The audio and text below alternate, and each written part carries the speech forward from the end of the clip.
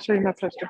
So um, Jennifer Platt is a doctorate of public health, and she and Beth Carrison started something called Tick-Borne Conditions United. It's a support group, and they put out a survey onto social media, emails, serve list, or list serves, I guess is what you call it. And then um, had 2,122 people respond, and 63% completed it.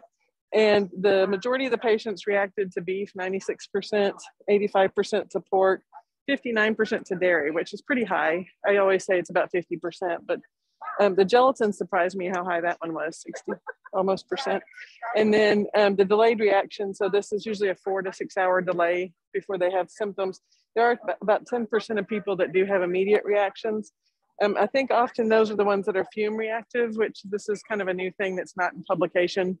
And so that's something that'll be important to emphasize, I guess, when we do publish. And then um, a lot of skin symptoms. So some patients get the usual like hives, but some people do this flushing, burning pain. It's, it's kind of a unique thing. And I think that goes to the autonomic nervous system. So some people, um, I think, are having mast cell symptoms that are also affecting the autonomic nervous system. And then about 37% had 15 or more reactions before they got diagnosed. And so this is usually a delay in getting diagnosis. And 25% still are reacting even though they're avoiding eating red meat. So they could be reacting to either fumes or cross contamination. Yeah. With like an epinephrine or how you... It depends on their symptoms. So if it's the hives, then you usually do H1 antihistamine, sometimes H2. And then if it's full blown anaphylaxis, epinephrine. But I usually tell patients patients to avoid what they can and then have an action plan, almost like a peanut allergic yeah. kid. Yeah. And um, and with those patients where you think that they have some like mast cell. Yeah, the issues. ones that are still reacting, I think, have hyperactive mast cells, and that was actually a poster yesterday from St. Louis. Was alpha gal associated with hyperactive mast cells?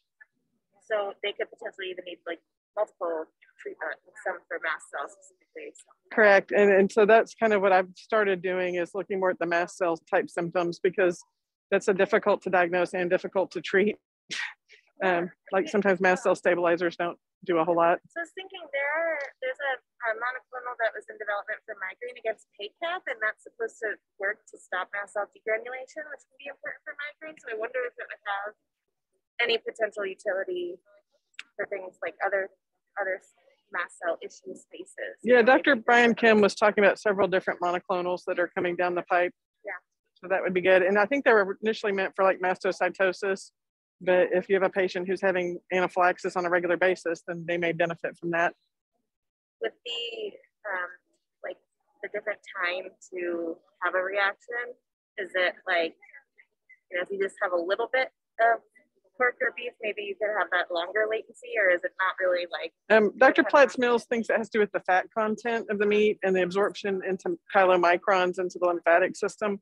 And then I think it also has to do with the lymphocytes. Um, they usually take a few hours to wake up. Yeah. I have to find Alex and have him come over. Oh, he's still here. I think he might have left this morning. Okay. Like, I need to see the tick poster. Oh, that's good. Well, thanks. Thank you for walking me through it. And yes, I will get it back to you. Well, thank you so much. All right. well, we've got three copies if you don't.